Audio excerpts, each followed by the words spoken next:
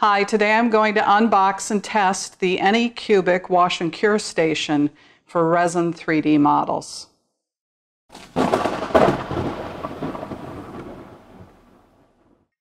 Hi, welcome to Greylight May, my video blog about making things and playing games. And this is now the third video in a new series I'm doing about resin 3D printing. And in this episode, I'm going to unbox this washing and curing station and give it a test to see how effective it is at simplifying the process that occurs after you make your resin 3D print.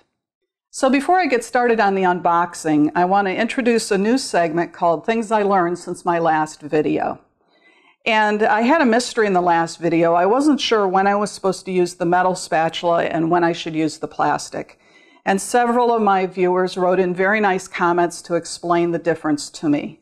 So the metal one is very useful re for removing prints from the build plate. Um, the build plate's metal, you're not going to damage that. And if you've got adequate supports under your model, you won't damage that either.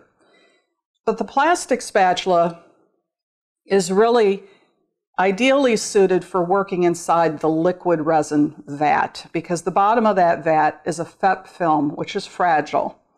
And using this to stir the resin before doing a new print or to stir to see if anything's in the resin that shouldn't be there, this is the spatula you want to use. One other thing I wanted to mention was in terms of the post-cure on your model, now we're going to be talking a lot about that today because that's what this is supposed to help me do. But if you're using the sunlight method, I mentioned that I didn't get good sunlight for the couple of days I had between the print and making my video.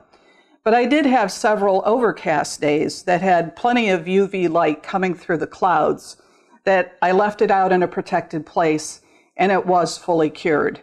Now you can tell it's cured, really the only way to tell if it's cured is by seeing if it's tacky or smooth to the touch. And um, that's kind of a rule of thumb. If it's still tacky, you shouldn't be handling it without gloves. So let's take a look at the Anycubic washing and curing station. The outside box has the international symbols for don't stack things on top of this, this way up, don't get wet, and it's fragile. It has no branding on it on any side. It just says made in China. So let's open it up and see what we've got. Piece of foam to protect the contents of the top part of the box. I've got the power cord and a power supply. Always like to check and make sure that they are really going to plug into my plug and it will. Some little wrenches and the instructions. So I'm going to stop and read the instructions and then we'll get started again. So this was a little easier for me to get out of the box than my printer was because it had this um, heavy duty bag that had all the foam in it so I could just slip it up out. And then this was down very tight and very hard to break the suction to get this off. But this then is the cover. And this is yellow. My printer has an orange one. The manual says that this blocks 99.95% of the UV rays, so that's very good. Um, there's a a sensor, well, there's a, a, some kind of a sticker here that interacts with a sensor on the back of the machine, and that's a safety uh, feature because neither the washing nor the curing will work if this lid isn't in place because the sensor will know. So let's set this down.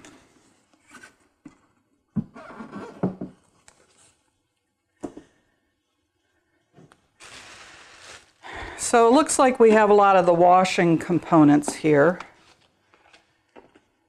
This is the container that you're going to be washing the model in.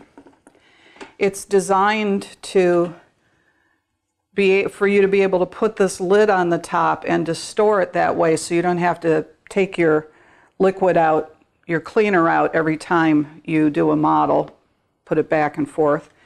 So I would note that this is not a UV protecting container. Um, so if there is uncured resin in it, there's a potential, I guess, for that to cure.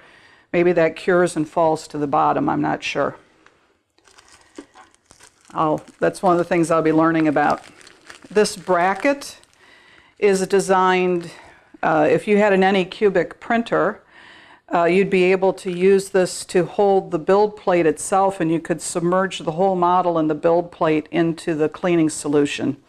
I don't have an Anycubic printer, I have a Creality printer, so I don't know how well this is going to work for me, but I'll be finding that out.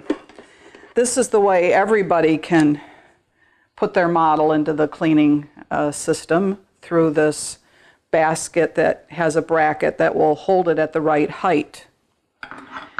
And it does need to be held at the right height because in the bottom of this, I think part of what makes it special is that it has this uh, little rotary impeller fan thing in the bottom that's going to set up a little vortex in the cleaning solution and that's why it's effective in cleaning. So uh,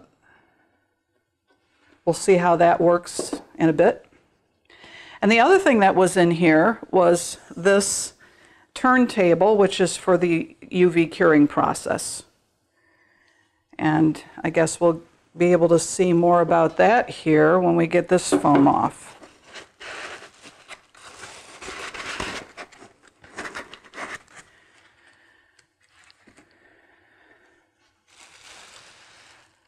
So here's where the bracket fits. I'll learn more about this in a minute. This is, there's a hole here that lines up with the, the turntable so that you can put it in and have it spin, but that's not important for this. This sits right on here and it's a magnetic system that runs the little uh, propeller. Now these LED lights, what I read was, I think there's probably 16 of them, and eight of them are 405 nanometers, which is what my printer has in the base of the printer. And when you get the 405 nanometer resin, like the Elegoo Mars I've been using, it's optimized for that UV wavelength. But there's also eight of these, probably alternating, I would guess, that are for 365 nanometers. So I assume some resin printers must use that wavelength, or some resins must use that wavelength. But it's got 405, and that's, that's what I need. So I'm going to stop at this point and take it into my studio and set it up.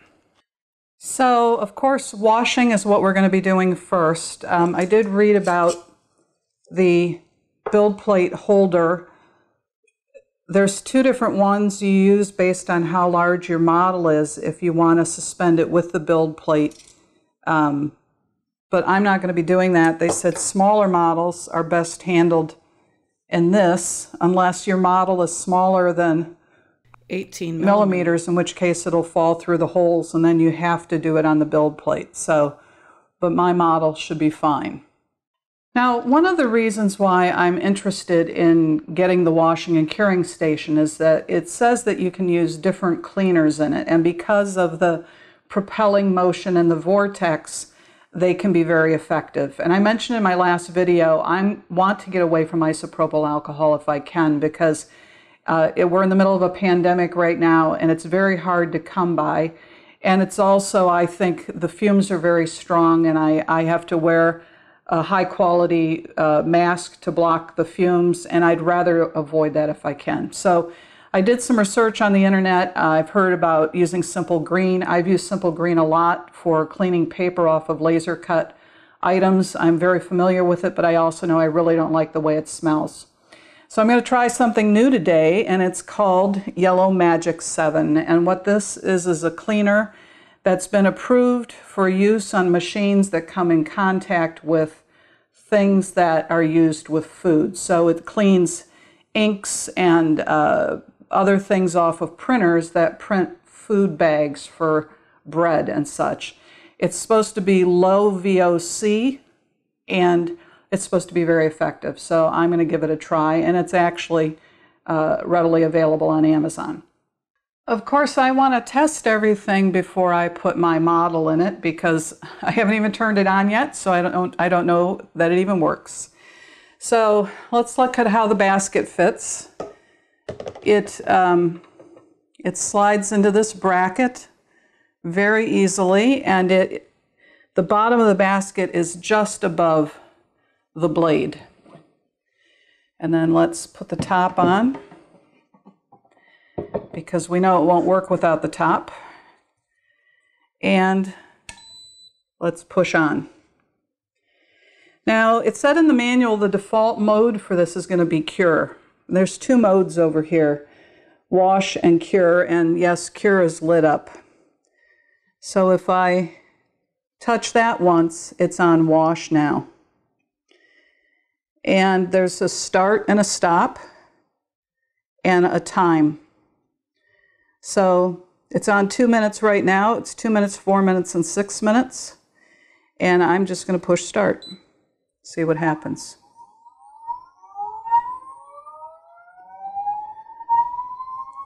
So the magnets spin the blade, and the blade really does create a nice vortex in the cleaning fluid.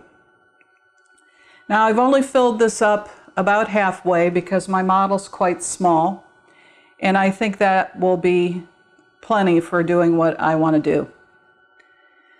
Now, what I also read is that whatever time you pick, it's going to stop halfway through that time and reverse the direction of the blade.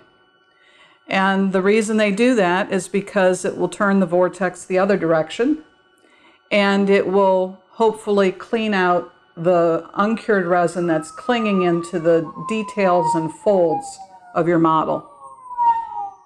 So it's winding down and now it's going back the other direction. And it should do that for a minute and then it should be finished. So I'm going to get my 3D model I printed this morning off my printer.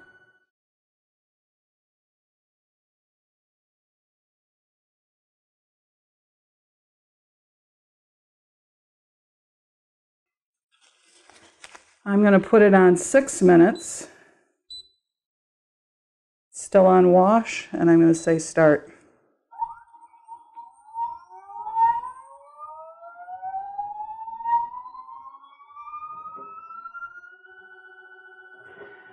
Wow, and the model is actually sucked up into that vortex.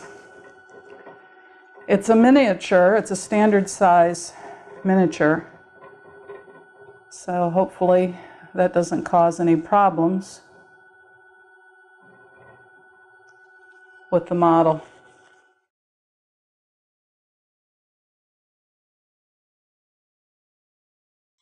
So because this is approved for um, contact with food related items, it's supposed to be safe to do that kind of rinsing, but you would not take this and just dump it down the, the drain. That would not be a good idea. So I'm going to have to figure out what the correct disposal process is for that. But this looks quite good. Um, I'm going to stop and take the supports off of it and see what I think after they're removed to see if it got into all the little nooks and crannies. If you do any close work, you might have a pair of these around. I have them because I paint miniatures.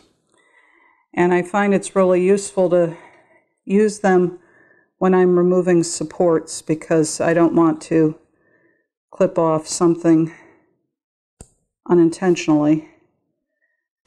And you don't want to accidentally damage your model.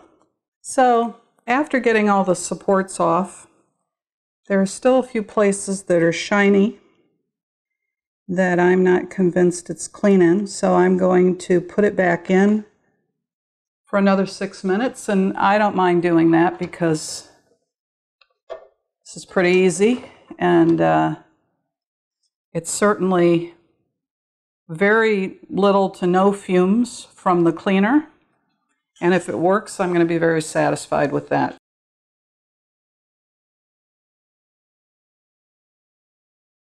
So after a second run through, uh, it looks quite good. It's all matte. I think it's clean and ready to go on to the next step. I've just hung the basket over the side of my utility sink on the inside so it can drip.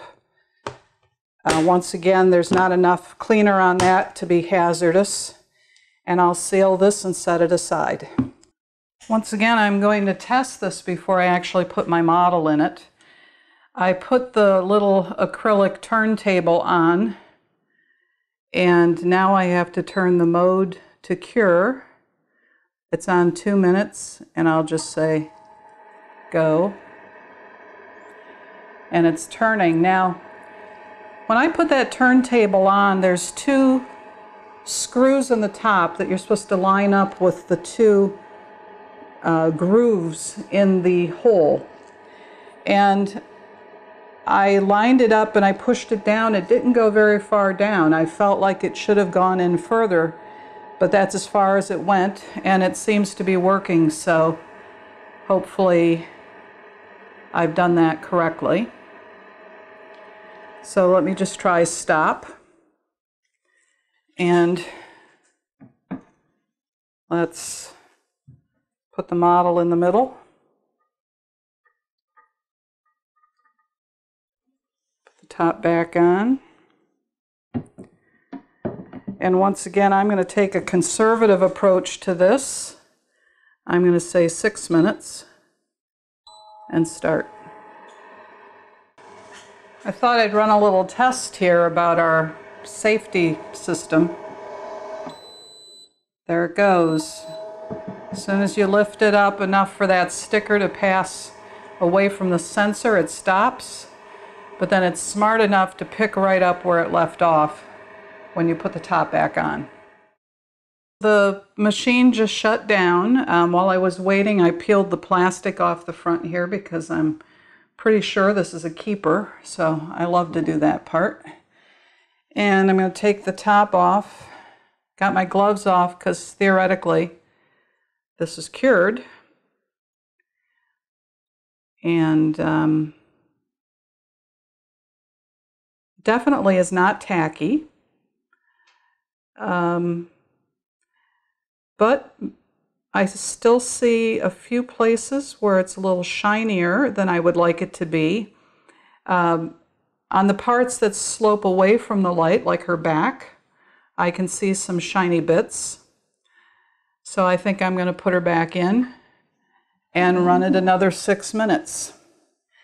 But to me, that is uh, so much easier than putting it outside and keeping an eye on it and making sure nothing happens to it while it sits out there.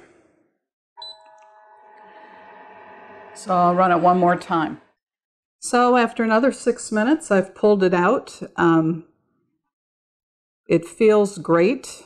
Uh, certainly no tackiness. And even the places where I thought it looked a little shiny, it is a little shiny, but it's not at all sticky.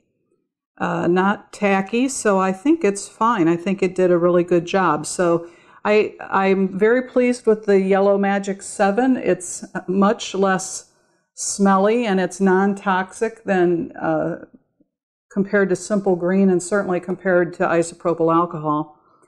Uh, it did a good job in combination with this machine getting this clean. Um, the parts that are sticking out on the model, like the scabbard and the instrument and her arms and everything, the bouncing around in the basket that I could hear didn't uh, do any damage. So I think this is really a good addition to my 3D printing experience. I have many other 3D printing videos planned. If you're interested, please subscribe to my channel.